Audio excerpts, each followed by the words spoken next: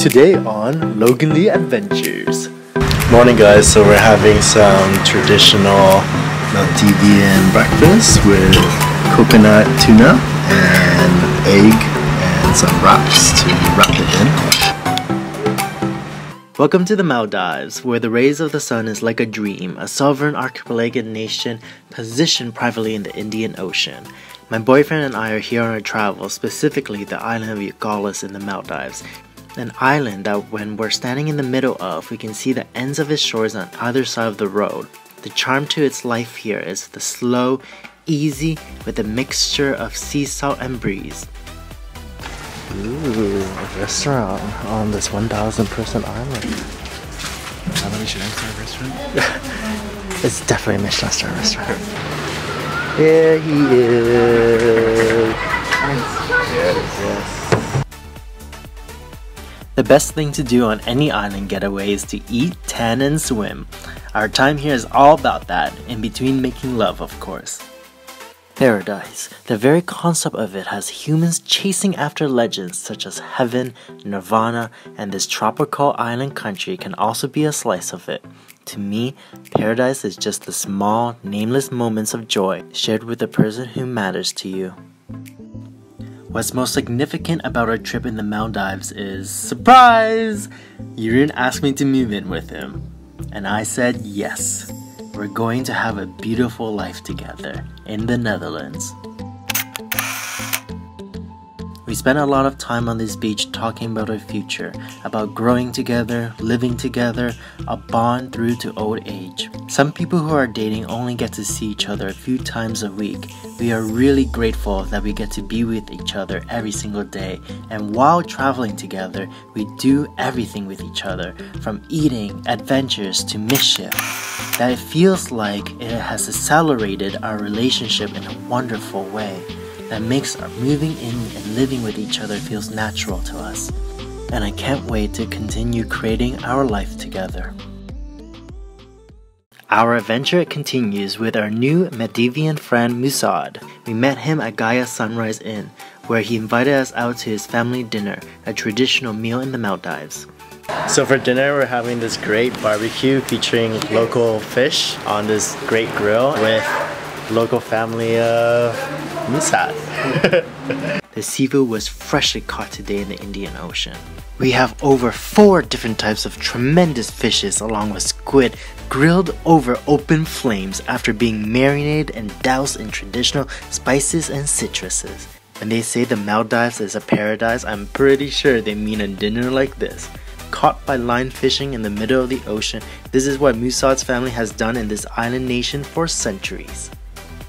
It's coconut milk mixed with water. Yeah. So basically, you, you just put in your rice. Yeah. And you put in your bokir and put a little bit of sugar for your taste and just mix it up. Ah, so simple. Yeah. And it complements very nicely with the spicy fish. This is a red snapper. Red snapper. Skipjack. Skipjack. Ah. Onions and chili and it, the texture and everything becomes whole. whole. Mm,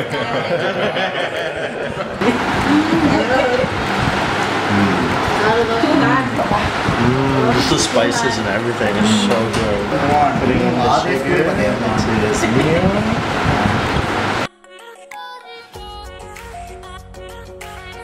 It's a traditional Maldivian meal. As traditional as it gets. Food in the Maldives is eaten with your right hand, so scooping it up here I go. And like in any Asian household, we're encouraged to eat to our capacity, just the way I like it. As a traveler, moments like these define our experiences. Sitting around a table of people who have perfected this food for generations, sharing this culture with us is truly special.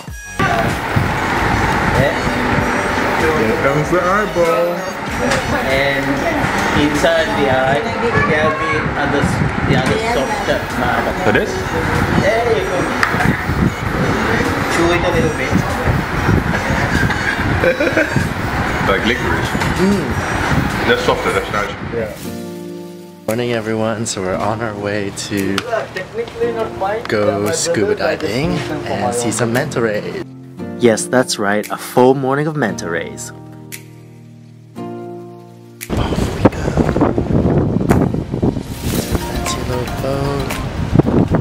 Okay, now full confession time. I'm always up for an adventure, even when snorkeling in the middle of the Indian Ocean while I lack the swimming skills. Yes, you heard me right, I can hardly swim. Only a few months ago, I took swimming lessons back home, but I can still barely float. Yet I'm still going to dive into this endless body of water. I'm freaking out, are you? Yurun says he has my back, but that doesn't mean that I won't pee myself. I guess my pee will be in the ocean anyway, so it doesn't matter.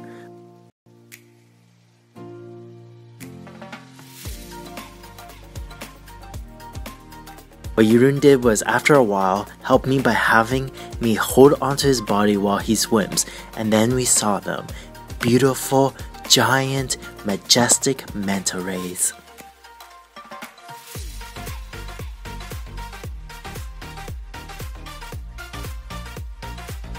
We spent the rest of the day snorkeling above corals and swimming in the Indian Ocean. Once I crossed that threshold of fear, it was absolute blissful fun.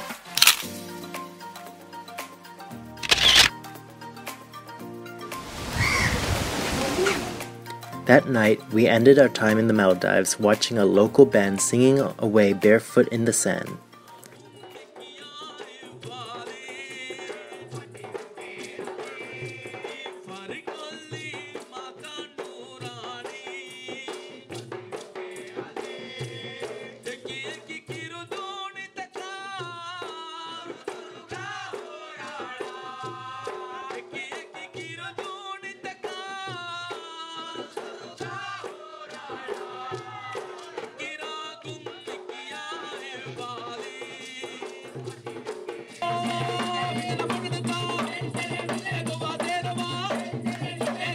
Thanks everyone for joining us in this paradise getaway. Hit subscribe for more of our upcoming travels, give this video a like and leave us a comment. We love hearing from you. Stay tuned for our next adventure.